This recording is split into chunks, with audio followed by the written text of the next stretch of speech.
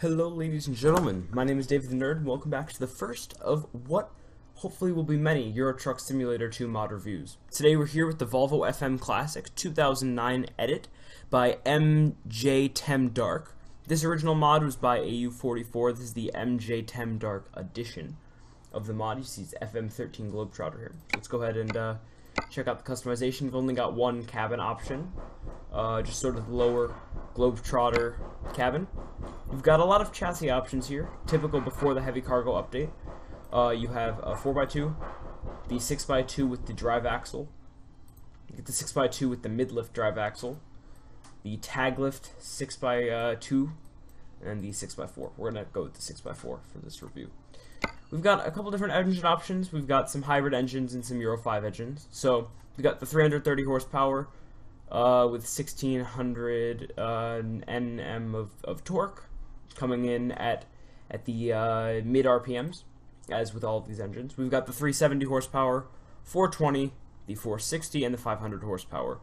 And they go up incrementally in torque, but you're going to get the same amount of torque around 1050 to 1400 RPM. Because we're going to go with the 500.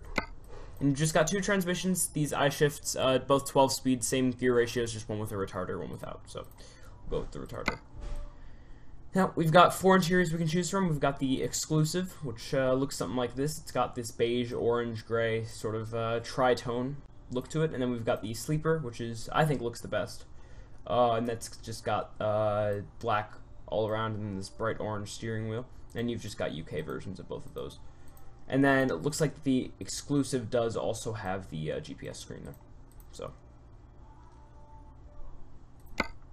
Uh, color options, pretty basic just uh, basic different colors and stuff. And then it does have um, the compatibility for the metallic colors DLC, so we'll just make like a metallic red one here. Working that up. So there's our metallic red. So for customization, there isn't a whole lot. You've got all the default bull bars that fit on here, so we're just gonna throw on the samurai bar. Or actually, no, we'll, we'll not go with any. So then we've got the stock and the stock long frontal mirrors. Um, just one sun visor that can be removed and put back on. And you can also remove this Globetrotter to have a window up there, but I'm going to keep it there. You've got plastic and painted mirrors, as would be typical, and plastic paint and chrome door handles from the cars painted. Up here you've got your variety of light bars that you'd expect on any truck. You have a couple different versions of each one that's farther forward and one that's farther back and one that's moved up. So we've also got the two default beacons, and you can put on a aerodynamic uh, fairing spoiler, which I'm going to do. I think it looks quite nice. Um, and then you've just got the uh, the side mirror as well. For wheels, just uh, I see I have the Michelin DLC here, uh, and then this Continental. These Continental tires also come with it, so we'll use the those. And then it has its own set of wheels, but is compatible with all these if you want them. Um, does not have its own thing there, but you do have its custom hubs and its custom nuts. So that's what that looks like. And so we'll go ahead and use those Continental tires again. With the uh, Volvo rims. See, we'll keep the uh, the hubs and stuff same. Looks very nice. Uh, moving into the interior, you can change out the steering wheels, thank God, but they are both very ugly. Um, so, yeah. And there is compatibility for the um, DLC toys uh, DLC, but I do not have that patch installed right now. So we're actually, I'm actually going to go back and switch to the exclusive interior so that I can have the GPS when we do our drive. And we will go with the exclusive thing as well. I think that this color scheme is awful, but I mean, it's Volvo, not really the mod. So, so this spec of truck, this is probably the highest spec you can get. Comes out to be 204,000. We'll trade in the Iveco that I've been rolling in for this truck. Give it a second. We're here in uh, Luxembourg. Now, the only other mods I'm running right now are the uh, Traffic Pack by Jazzy Cat, Trailers and Cargo by Jazzy Cat, the City Lighting mod by Sissel, or no, that's by Grimes, and then the uh, Better Traffic Lights mod by Sissel. Those are all available in the Steam Workshop, except for those Jazzy Cat mods, which can be found on pretty much any mod website. They're some of the most common mods in the game. So, this mod actually, it's very demanding on the system, which is something I really was not expecting at all. Um, so, the uh, author notes that the advanced trailer hitch has problems with certain trailers. I'm not going to use that. Um, this does contain templates in the archive that you download so you can skin up this truck. You can see it's actually got a realistic steering radius, which is pretty cool. Um, so he also does put that it this only works, this mod only is compatible with the 1.27 update of ETS2, uh, but I don't see any reason why somebody wouldn't be on that update. If excuse me, I actually have to put my shifter up. But um, so it does say does contain the activation mod for the DLC toys. It is not compatible with the um, does not have the uh, flags DLC though. In the exterior, it's about 8:30 in the morning. Start it up. Those are the high beams, those are the low beams, and there's the uh, days and lights. So, just to look around, you can see we've got two air horns on the side, which are not functional. Um, we'll hear the regular horn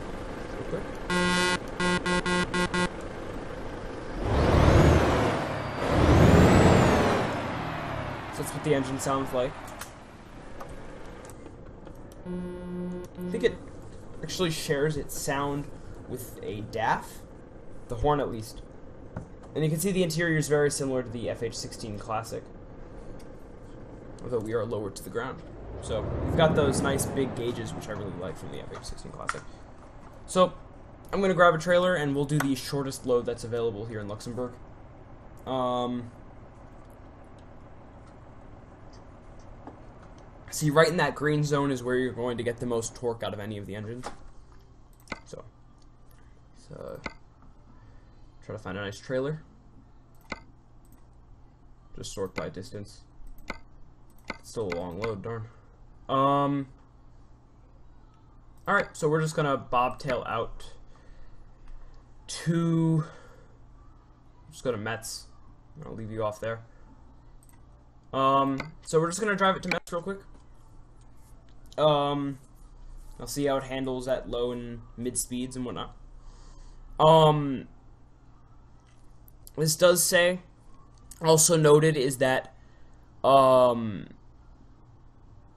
that there's three different exhaust pipe options, which I actually didn't see when I was configuring my truck, and it is compatible with different wheel mods, tire mods, you know, different skins that you can download for this truck. And it's a very small mod too, at 37 megabytes. It's one of the smallest truck mods I've seen. I think it's because it uses a lot of the same parts as the Volvo trucks that are already in game. So this mod, this model has been the 3D model, although it is by AU44. Uh, MJ Tem Dark has gone ahead and um, edited the model. He's redone the chassis. He's added an independent interior. He's redone all of the animations. He's fixed collisions, added the compatibility for the advanced trailer hookup. He's fixed some error stuff, uh, separated the tires. They used to have just one combined tire, so it wasn't compatible with the uh, the in-game tires. Uh, he custom made all of the wheel stuff that you saw, um, and he did add those 460 and 500 horsepower uh, engines that you saw, and the removal spoiler was all added by this guy and updated to 1.27. So I'll leave uh, both links, both the primary download and the mirror link in the description below, and if my game would decide to finally load, we could uh, take it on a drive. Um, let's give it a second. Um, also, this mod, this mod's pretty old. At least the mod that this is derived from has been around for a very long time. Um, there's other versions of an FM as well that you can download um, on different Euro Truck mod websites. I found this mod on ets2.lt. That's my primary mod website of of choice. Um, and this it, this mod does take a really long time to load. I said that already. But um yeah. Now I'll leave those links in the description for when you can uh, can download the mod. So wow, this is taking a very long time. I'll see if there's anything else I can do. Um, and as you saw, those bull bars they're compatible with all of the uh, the default um, sort of DLC toys and such. So let's finally get this on the road. I am writing a slight Sweet SweetFX mod as well for graphics.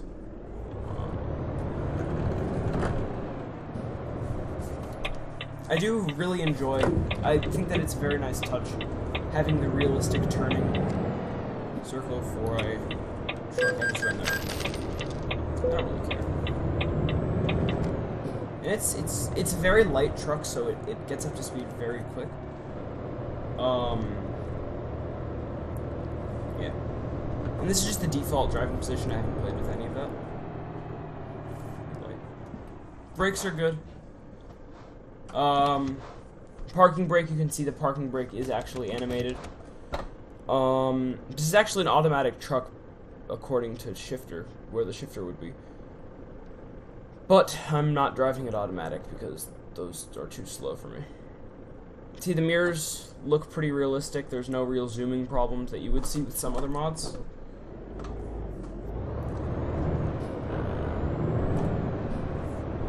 And it, it shifts pretty nicely. I'm using the realistic gearbox uh, setting, and it, it shifts very nicely, and these sounds sound very good. I have noticed that the fuel needle, um, down the bottom right of the gauge cluster is not functional. You can see it's way above the F. So, oopsies. Um,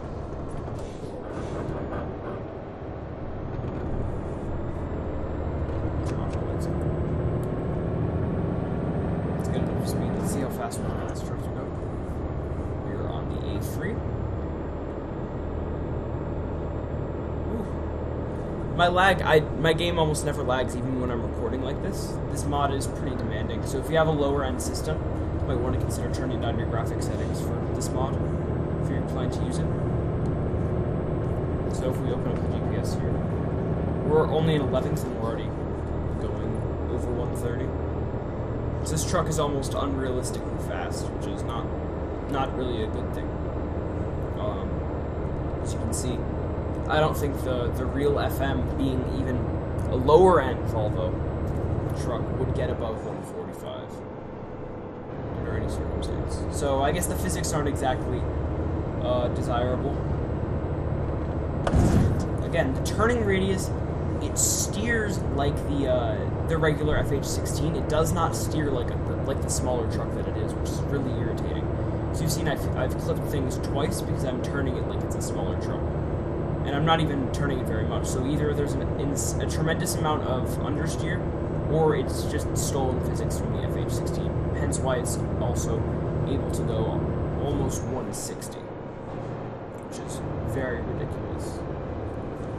See, we can scroll through and see the different menus if I scroll through them. I mean, it doesn't steer badly, and oh my goodness. Um, but it's just not the physics aren't to be desired. The clutch is fine, but the clutch is actually way too responsive. Like I can this is like half clutch and I can almost shift. I can push it in and it's not shifting. You don't have to push in the clutch. You only have to go to the biting point in order for it to shift, which is not realistic at all. And the sounds are just taken from not even a Volvo truck from a DAF. And again, we're having this this amount of lag, which is pretty unprecedented. And you can see there's almost no body roll, which is, again, unrealistic. So, I mean, we're to pull over here. So, in short, this mod looks really good, and it has a lot of nice customization features and stuff. But the, um, the physics are lacking, and I guess, like, there's just some small things with the mod that are just unrealistic, like how those air horns on the side don't work, you know, there's this black piece of the fairing isn't supposed to be there. And like the chrome is really way too reflective. But like overall it's a good mod and I'd, I'd recommend you download it just to sort of play around with it and see if you like it. And that fifth wheel isn't supposed to be chrome either. And I didn't buy this in Great Britain. I bought it in uh, Luxembourg. So anyway, thank you for watching. If you like this video, leave a comment down below. Let me know what you like, let me know what you dislike. Um, and you can download download this mod in the description below. Thank you for watching. Have a good day.